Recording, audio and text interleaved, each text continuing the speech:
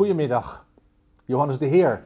Dit is Arturia en ik ben Bert Smorburg. En wij zijn hier om uit te leggen waarom Arturia, de Astrolab, zo verschrikkelijk gaaf is. Heel simpel. Waarom is dit zo gaaf? Nou, stel je voor, je bent een muziekproducer. Weet je wel, je maakt thuis op je computer maak je muziek. En ehm, dan maak je natuurlijk gebruik van de V-collection van Arturia. Dat is een enorme reeks geweldige emulaties van oude analoge synthesizers. Nou, die hebben ook in die reeks Analog Lab. En Analog Lab is een plugin met een selectie uit die complete V-collection. Duizenden geweldige geluiden die je in Analog Lab kunt gebruiken en kunt bespelen. Maar dat wist alleen maar in de studio. Toen dachten ze, ja, als je dat live op een podium zou willen, dan moet je je laptop meenemen. Nou, dat kan natuurlijk wel, maar dat is altijd een beetje tricky met drivers en audio interfaces en dat ding gaat vallen een keer of er gaat een glas bier overheen. Toen heeft Arturia gezegd, weet je wat wij gaan doen? We gaan de complete library van Analog Lab gaan wij in een performance keyboard stoppen. En dat is Astrolab geworden. En zo ziet hij eruit. Hij is wit, hij is prachtig, met mooie randen en een hele grote knop in het midden. Wat ik ga doen, ik ga gewoon eerst eventjes te langs om te laten zien hoe het eruit ziet. Uh, grote wielen voor je pitchbend en je modulatie en natuurlijk je octaven. Het grote wiel, daar gaan we het zo over hebben. Heel snel kun je hier selecteren welke categorie je wilt spelen. Je kunt hier ook je playlists maken. Playlist is heel belangrijk, want dan kun je namelijk je setlists maken voor je gig. En heel veel controllers. Dus je kunt allerlei klanken heel snel on the fly veranderen. Ik zal ze een voorbeeld geven. Ik ga hier naar de e-piano's.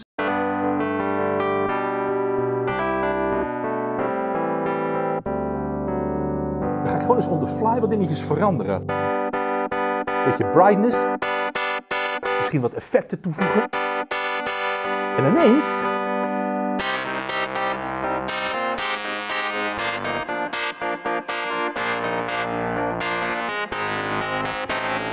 Zo snel kun je je klanken veranderen. Ik zal nog eens een voorbeeld geven. Ik neem bijvoorbeeld zo'n Jazz B3 organ. Zoals je kunt zien zit alles altijd zichtbaar in dat grote wiel. Je kan aan dat wiel draaien, je kan erop drukken en je ziet in kleur altijd op welk instrument je speelt.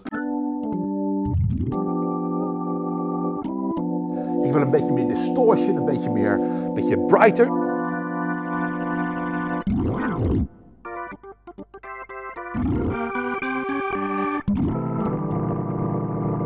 Leslie natuurlijk, alles zit meteen onder je vingers. En dat is natuurlijk te gek. Als je live speelt, dan kun je al die controllers meteen gebruiken.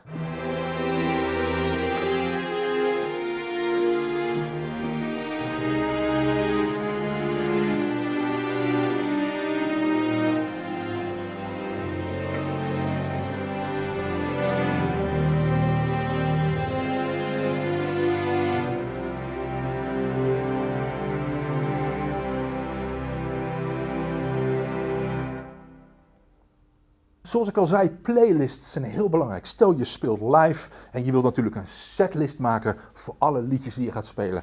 Op het moment dat ik hier op een knop druk die heet playlist, kom ik automatisch in mijn thuis geprogrammeerde playlists. Bijvoorbeeld een piano met een petgeluid.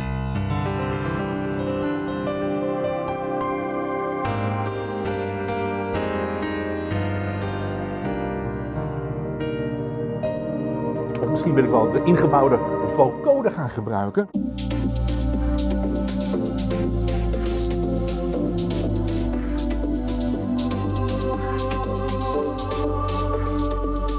Of de ingebouwde arpeggiators. Er zitten verschrikkelijk veel oude analoge synthesizer klanken in. Die kun ik meteen veranderen natuurlijk.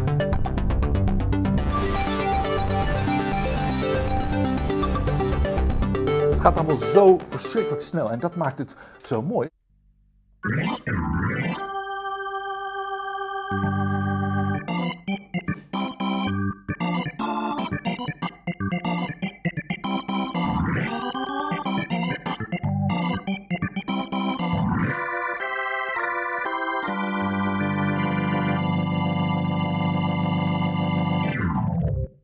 Er is nog een andere manier waarop je kunt werken. Wat ik bijvoorbeeld wil doen, ik wil terug naar mijn gewone reeks klanken en ik wil op een andere manier zoeken. Nou, ik ga even laten zien hoe dat wiel werkt.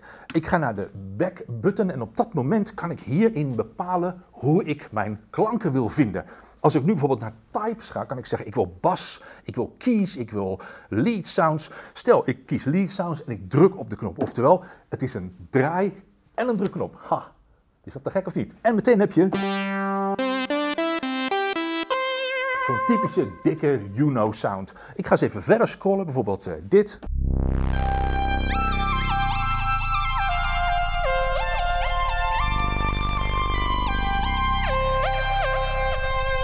Zoals je meteen kunt horen, is het ook een mogelijkheid om een split te maken op dit instrument. Of je kunt twee klanken bovenop elkaar zetten. Ik zal nog eens een voorbeeld geven. Ik wil niet zoeken in types, maar ik wil bijvoorbeeld zoeken op instruments. Dan druk ik weer op die knop. En dan kan ik bijvoorbeeld zeggen, ik wil naar... Uh, uh, bijvoorbeeld de boegla, dat is een hele oude analoge synthesizer. Op het moment dat ik daarop druk, zit ik meteen in de boegla.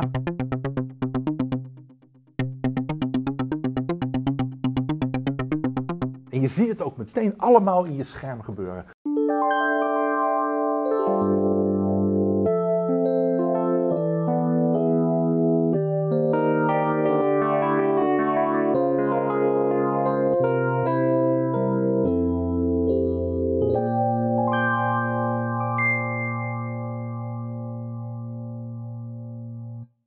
Maar wat nou als ik bijvoorbeeld zeg, ik wil artiesten. Ik wil eigenlijk bijvoorbeeld weten hoe Pink Floyd of hoe Genesis zijn klanken maakt. En dan heb je ook nog een zoekfunctie op artiest.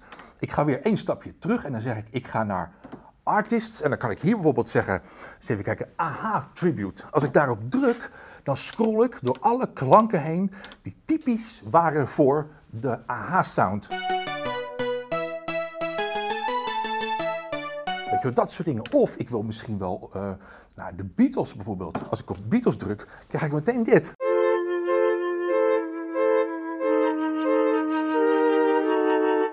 De Strawberry Flutes. Of misschien wil ik wel naar uh, Berlin. En als ik daarop druk, dan krijg ik meteen...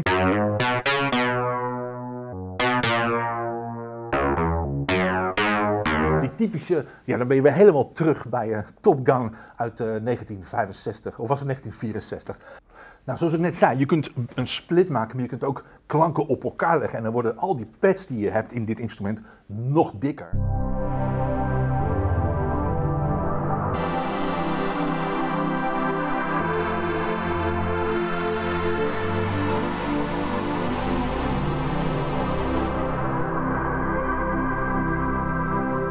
Ik ook erg mooi vind, dat zijn bijvoorbeeld die splitgeluiden. Dus bijvoorbeeld een, Rhodes links en dan bijvoorbeeld een lead sound rechts.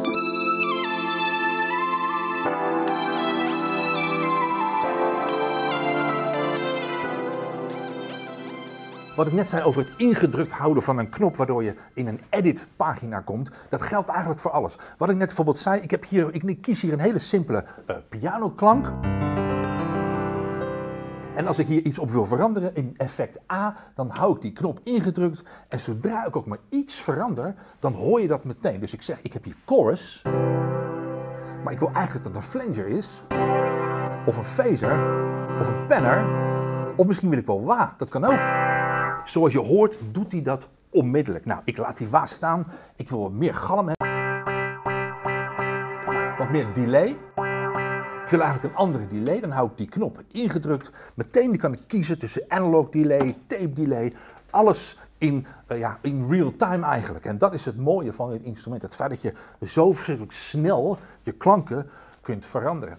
Nou, wat ik heel erg slim vind van Arturia is het feit dat je hem aan je analog lab kunt hangen. Met een hele simpele USB-C-kabel. En dat betekent dat jij bijvoorbeeld kunt zeggen: ik ga al mijn klanken in Analog Lab programmeren.